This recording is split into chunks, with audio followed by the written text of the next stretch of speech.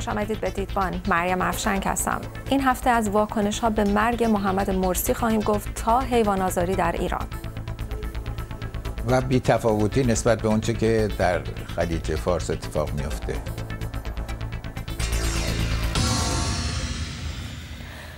سلام های بهنود. این ماجرای تنش بین ایران و آمریکا در آبهای خلیج فارس انگار هر هفته هی به قول معروف بیشتر و بیشتر میشه. سلام همینطوره. و این البته ابعاد جهانیش بیشتر از انعکاس داخلیشه در ایران. البته این حادثه آخر مربوط به سقوط پهباد نه. این که البته به روزنامه پنجشنبه نرسید و بنابراین لابد هستش که در روزنامه شنبه انعکاس پیدا خواهد کرد. ولی قبل از این این بحث و گفتگوهایی که مطرح بود و اینا نه کمتر انعکاس پیدا کرد در روزنامه هفته. خب می‌خوایم بریم شروع کنیم با روزنامه همشهری که داستان کودکان کار از خیابان تا معدن رو یک گزارش تهیه کرده در گزارش خوبی بود نه گزارش خیلی خوبی بود و البته مثلا گزارش میدانی که رفته باشه بله. اینا بله. نبود ولی بر اساس آماری که به تازگی در اومده در واقع داره میگه که چقدر کودکان کار در ایران داریم که حالا از خیابون از گل فروشی تا کار معدن و ساختمون درگیرن و خب یه مقداری تکون دهنده بود میگه که وضعیت فعالیت کودکان 10 تا 17 ساله ایران نشون میده که از 9 میلیون کودک نزدیک نیم میلیون در واقع کودکان کار محسوب میشن. و اینطوری که این آمار داره میگه در سال 96 143 کودک در بخش معدن و 52289 کودک در بخش ساختمان فعالیت می‌کردن. که این دو کار کارهای سنگینی حتی برای بزرگسالان هست. از قدیم آجرپزی مسئله خیلی جدی بوده که بچه رو به کار می‌گرفتن توش و بله. اون تو, تو قرن 21 دیگه هزاری زیادیه روزنامه بعدی روزنامه شرق هست.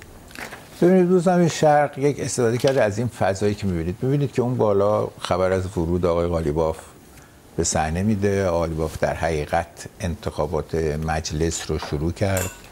با این شعار که جوانهای اصولگرا باید بیان. یعنی یه ذره فاصله گرفت با اصولگراها که تا سه مرتبه نتونستن او رو برنده کنن در انتخابات و یک پروژه تازه مطرح کرد. این پروژه البته دفعه اول نیست که مطرح میشه. آقای باف توی این دفعات که می‌خواست رئیس جمهور بشم سعی کرد که روی اون گروه از جامعه گفته مثل که برام فیلم بفرستین و بله نشد. بعد شما حالا درست همزمان با این درست شرق به وظیفه خودش به روزنامه اصلاح طلب عمل کرد.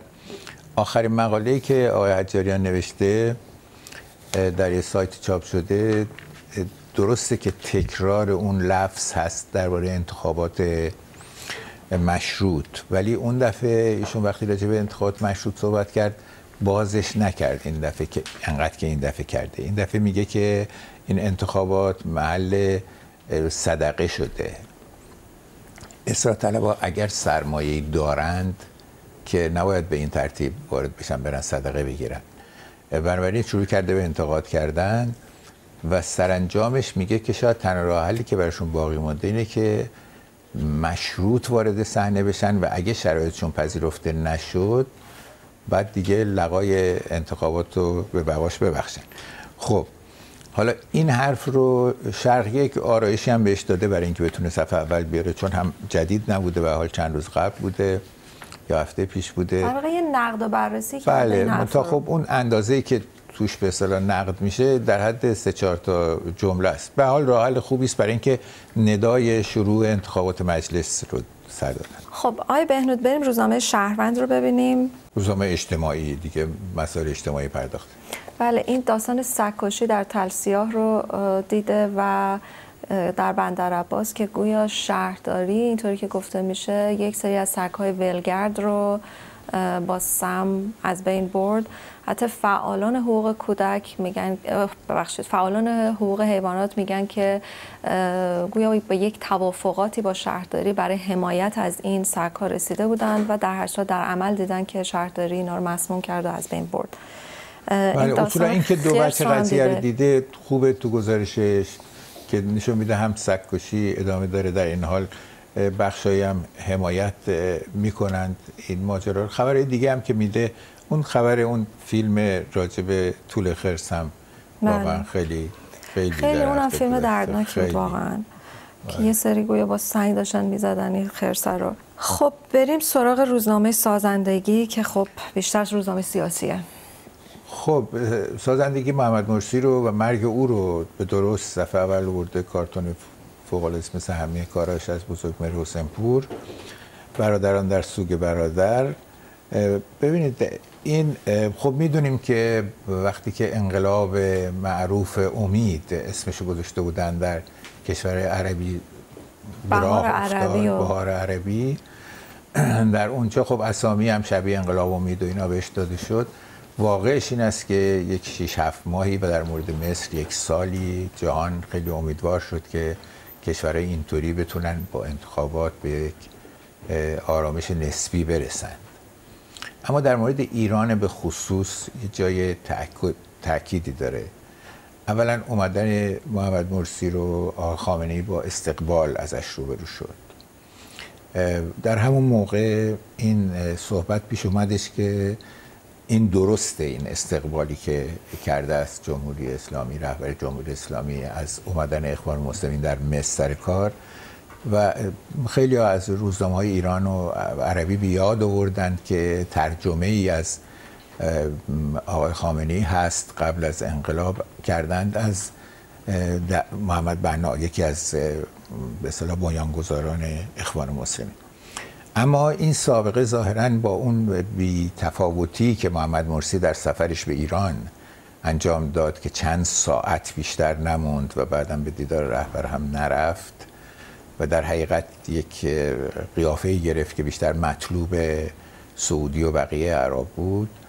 دیگه از بین رفت. و همچنین هم الان با اومدنش بیشتر حرفی که زده شد در روزنامه ها از جمله سازندگی و کیهان و بقیه هم همه تقریبا با لحنای متفاوت همین بیان داشتن.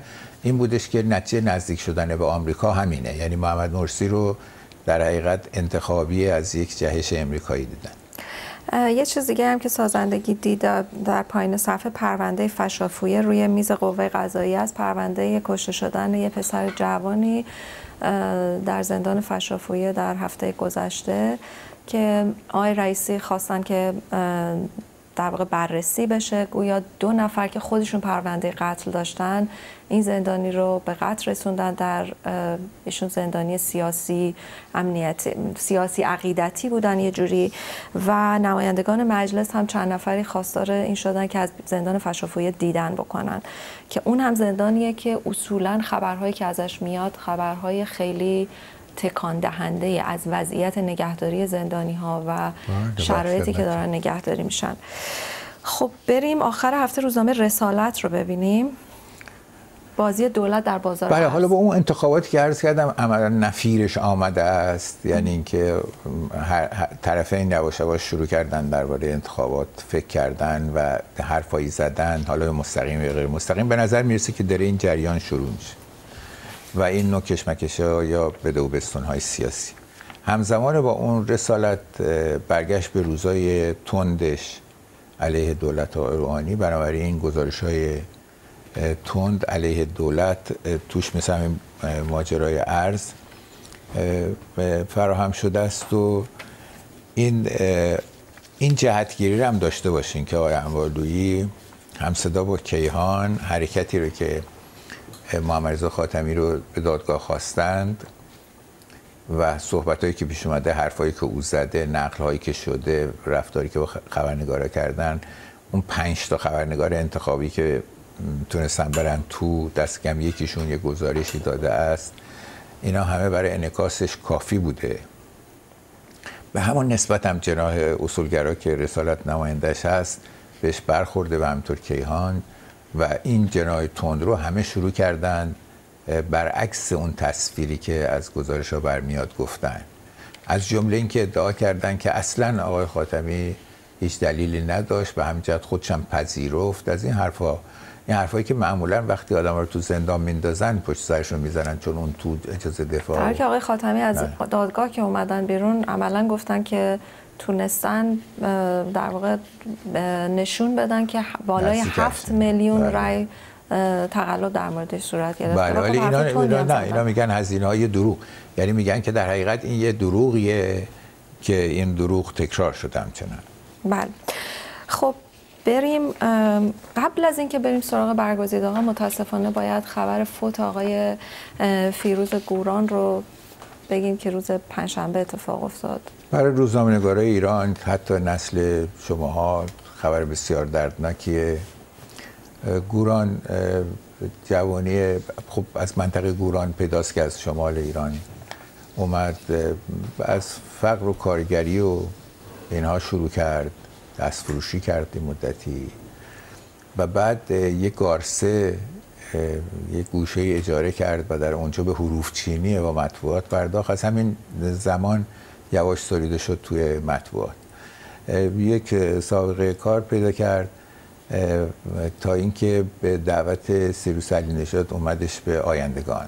و در آیندگان به سرعت خودش شناسون بیشتر آدم اجتماعی بود تا اینکه مثلا فرض کنیم گزارش نویس برجسته ای باشه یا هرچی. در همون آیندگان رشد کرد تا آخر سر عضو شورای سردبیری شد زمان انقلاب و همینطور نام آشنا شد. یک نگاه سیاسی در حقیقت حقیقت محوری داشت که مانع از تندرویش می‌شد و در این حال یه صداقت درونی داشت که در بین سنف و حرفه ما شاید کم نباشه تعدادشون ولی انقدر شفافیتی که گوران داشت رو معمولا نبود بعد از انقلاب تمام سعی خودشو برای اینکه کماکان بمونه و بتونه فعالیت بکنه و اینا کرد. دفعه اولی که شکست خورد از زندان که اومد بیرون رفت گارسه رو پیدا کرد و رفت دوباره با حروف چینی شروع کرد زندگی کردن و هرچه ما و دیگر آشنایش اصرار کردن که دیگه نه بر نگرد بیا و اینا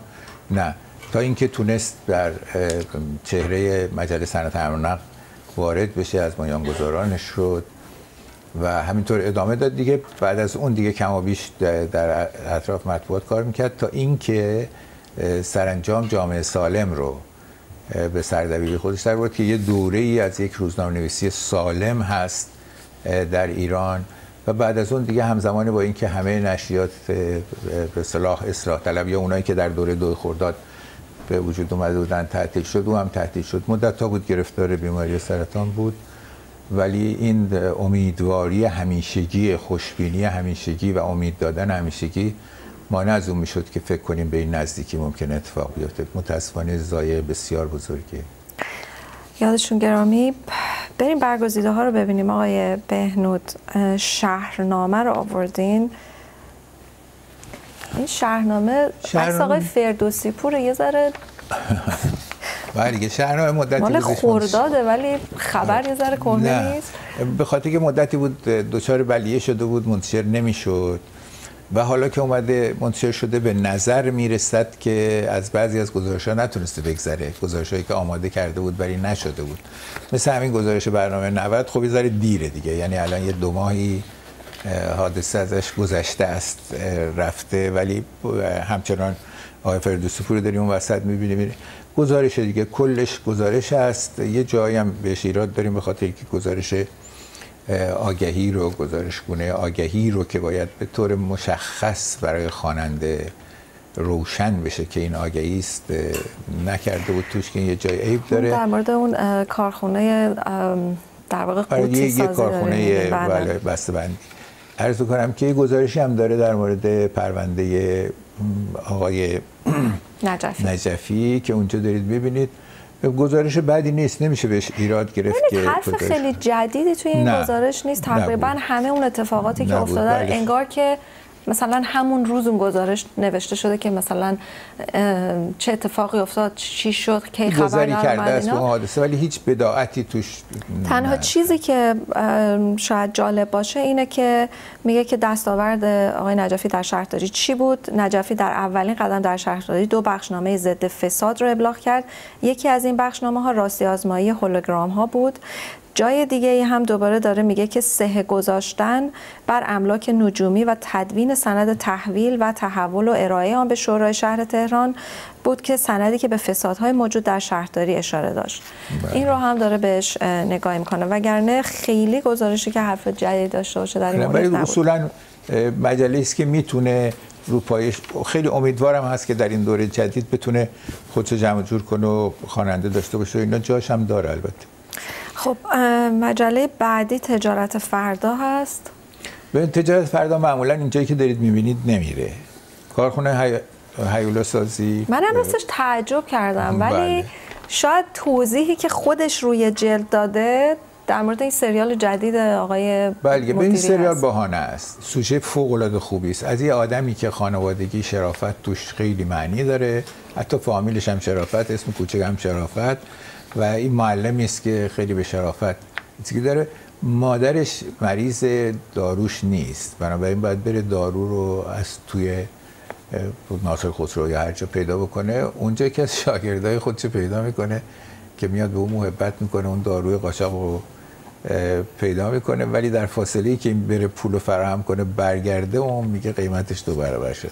اینجا شروع میشه. بله. تا جریان سریال تا اینجایی که الان اومده چگونه چگونه است که یک آدمی که به طور سنتی شرافت برای خودش انتخاب کرده آدم سالم و محترم سالم محترم از جانب دختر کوچولوی خودش و از جانب کل جامعه شاگرداش همکاراش اینا دعوت به فساد میشه.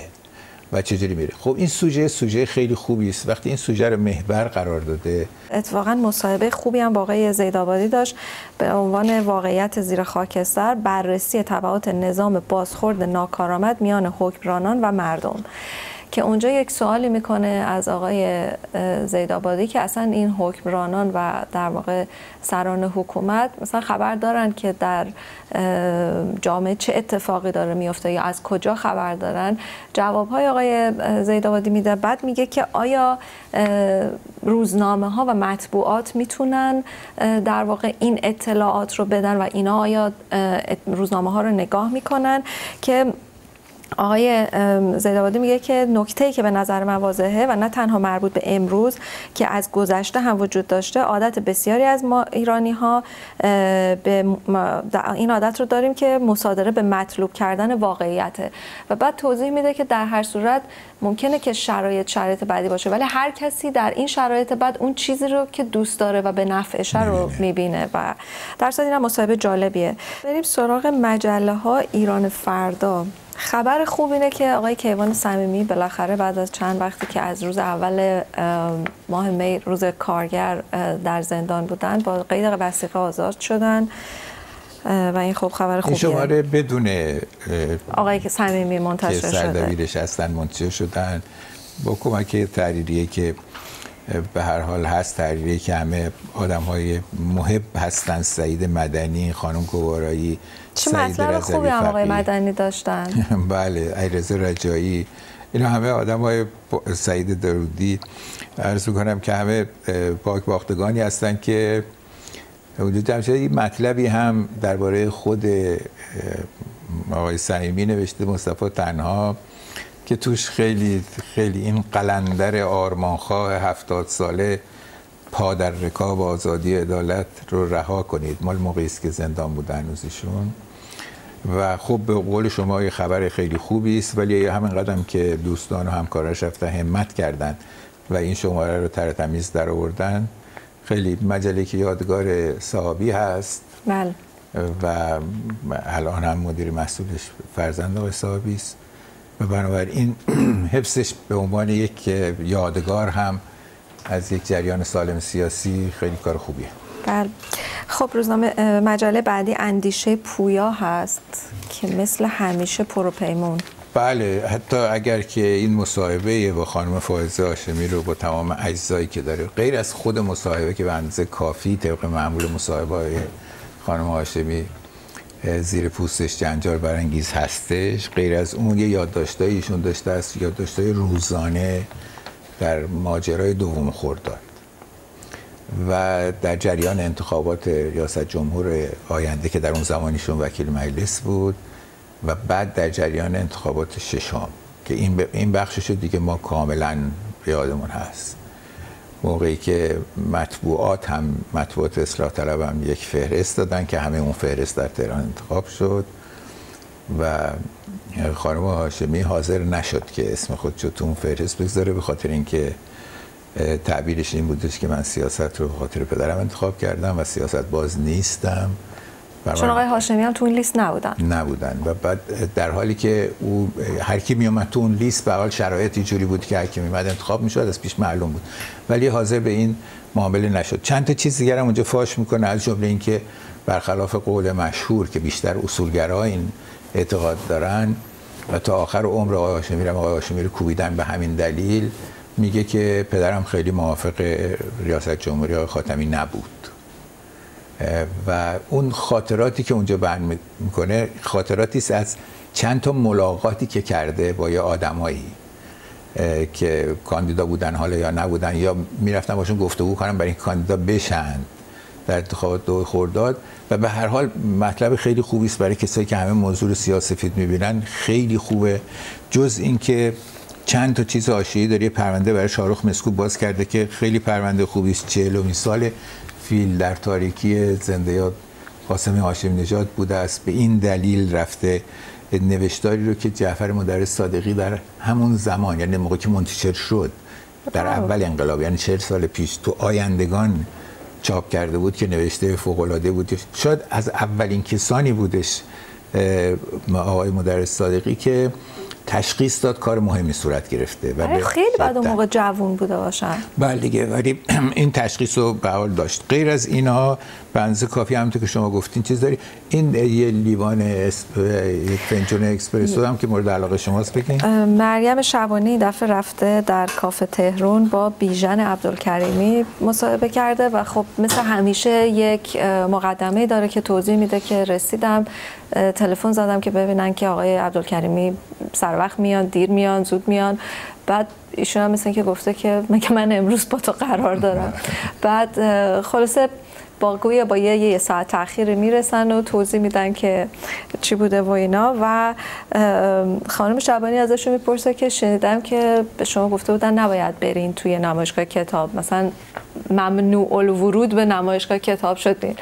بعد آقای عبدالکریمی میگن که از بالا تا پایین وزارت ارشاد به من محبت دارن و خیلی منو دوست حالا این دفعه خواستن منو تنبیه کنن و گفتن برای امنیت خودت خوب نیست که بری. آره فکر خود به امنیت خودت یه نکته جالبی هم که میگه میگه که توی این مصاحبه آقای عبدالکریمی میگه که اون چیزی که الان داره جامعه رو پیش می‌بره بحث های نظری ما روشنفکران نویسنده ها نیست بالا رفتن قیمت خونه و ماشین و زمینه. و ایرانی که در نظام جهانی روز به روز داره وضعیتش بدتر میشه و موقعیتش پایین تر میاد. و در واقع یه جوری که روشنفکر باید بدونه که الان جامعه در واقع دنبال چیه و شرایط جامعه و مشکلات جامعه چی هست. خلاصه اینم خوب بود مثل همیشه. خب آقای بهنود بریم سراغ سینما ادبیات که من همیشه بخش ادبیاتش دوست دارم شما بخش سینماشو. سینماش برای خودش روی جلد می‌ذاره همیشه و توجهش بیشتر آقای دکردی به مسئله سینما چون خودش هم معمولا در فاصله یه ماه معلوم میشه همه کارا رو می‌ذاره. تو این موضوع هم کار می‌کنه که این دفعه هم کرده درباره سینمای روسیه و تارکوفسکی. ولی به طور کلی عکس گذاشتن عکس تارکوفسکی اینجا درسته به خاطر اینکه به طور کلی انگار که ویژنامه یا نیم ویژنامه کلا اصلا مخصوص تارکوفسکی عجیبم نیست. و سینمای روسیه. یعنی واقعیتش اینه که درست به سینمای روسیه اینا نگاه می‌کنه ولی تارکوفسکی عجیب ترین پدیده ای بودش که در دست کم در قرن بیستم. تونست به دنیا عرضه بکنه و واقعا تا مدت های مدیدی آدم می‌دید که فیلمسازایی از ایران تا مصر تا مکزیک همه تحت تاثیر تارکوفسکی بودم فیلم های شبیه به هم منتشر می شد اما به نظر من همونطور که شما میپسندید قسمت هنر ببخشید ادبیات داره هی بیشتر سهم بهتری پیدا می‌کنه در مجله و به نظرم این خیلی مثبته. در مورد سینمای ایران اول اون رو بگم. یه نشستی علیرضا داوود نشاد و امیر یوسفی و آقای جواد توسی. و این دفعه در مورد سینما در مورد سینمای ژانر حرف زده میشه. این, این تیکرم اگر نگم توی گلون گیر می‌کنه. احمد و خوبت. خوبت این دفعه هم شاکاری کرده. هم یه ترجمه ای کرده راجع پس از مرگ. هم یه مقاله بلندی نوشته درباره پسامرگی و فوق العاده است. من توصیه می‌کنم هر کسی می‌خونه قبل از تارکوفسکی مقاله آقای خوبت هم بخونه. عالی. خب بریم کارتون محمد رضا ثقفی رو ببینیم که چقدر این کارتون تلخه. تلخه بله. افزایش فروش اعضای بدن در پی بالا رفتن فشار اقتصادی. این هم از اون خبرهایی که مدام هی جست گریخته توی مطبوعات گاهی دیده میشه. یکی وایساده میگه که یه نصف کلی فوری فروشی. ماشاءالله از 15 سال پیش که دیدمت خیلی خوب موندی رفیق. حالا اون رفیق هم همینطوری سوراخ سوراخه. یه پا اضافه داره. منم خوشحالم که هنوز یه مقدار هستی. بله. این مال شهرونگه. در شهرونگ کارشون به حال این است که در موضوع اقراق بکنن تا دیده بشه بله. ممنون آقای بهنود و مثل همیشه ممنون از شما. منتظر نظراتتون درباره تمام برنامه های بی بی سی از جمله تلویزیون رادیو و وبسایت هستیم. کافیه که به بی بی سی دیدبان توییت کنید. توییت های شما رو می‌بینیم یا به آدرس دیدبان at bbc.co.uk ایمیل بزنید. با شناسه بی سی شما هم می‌تونید در تلگرام به ما پیغام بدید. هشتگ دیدبان رو هم یادتون نره. ممنون که با ما بودید به همراه آقای بهنود همینجا با شما خدافزی می‌کنم. تا هفته آینده شب روزتون خوش.